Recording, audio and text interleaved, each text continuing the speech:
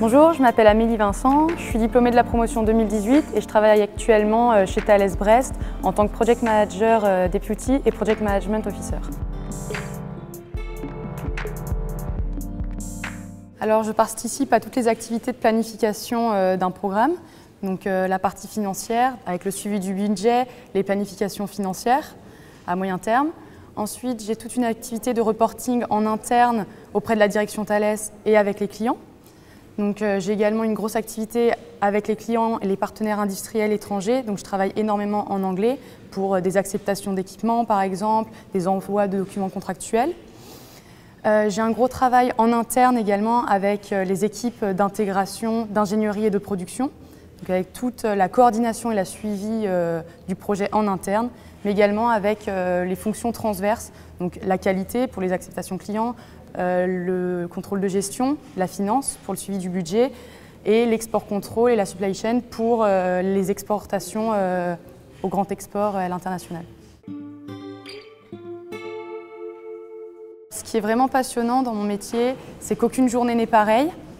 il faut savoir rebondir, on parle avec énormément de personnes différentes, donc d'un point de vue déjà culturel, avec les clients qui sont de plein de pays différents, avec euh, des personnes de formation très différentes, donc euh, aussi bien des personnes qui sortent d'écoles de commerce, des techniciens avec la production, euh, mais également des, personnes qui sont très très techniques, donc on apprend vraiment tous les jours et c'est ce qui me passionne vraiment. Alors ce qui est bien et c'est ce que j'aime, c'est que aucune journée n'est pareille et on ne peut pas vraiment s'attendre à l'avance à ce qui va se passer.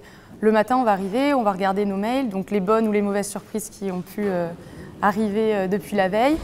Et euh, on va avoir une journée ponctuée de réunions, mais des réunions vraiment de travail avec les équipes pour avancer. Et euh, avec donc des mails auprès des clients, parfois des appels téléphoniques, des visioconférences et parfois des clients qui se déplacent, qui viennent chez nous pour des acceptations de systèmes par exemple. Je me déplace, mais plus pour l'instant en interne Thales, donc à Paris ou à Bordeaux. Je n'ai pas eu l'occasion encore d'aller voir mes clients à l'étranger. La vie étudiante à l'Insta Bretagne, c'est quelque chose de magique. Donc euh, ce qui est bien, c'est qu'on est à Brest, on est loin de tout, donc on vit bien plus que les soirées du jeudi soir comme les autres écoles. On passe des week-ends à découvrir la Bretagne, on a la vie associative, donc moi je me suis engagée dans le sport, on a vraiment un choix très très varié. Euh, on a plein d'associations comme une acteuse, comme le théâtre, où également on peut s'engager, on a le temps de le faire en plus. Et après il y a toute la partie bah, beaucoup plus festive. Moi l'un de mes souvenirs, que j'ai vraiment et qui va rester, c'est euh, mon papa et mon petit frère qui sont venus me rejoindre euh, au foyer des élèves et une super soirée où ils sont intégrés et tout.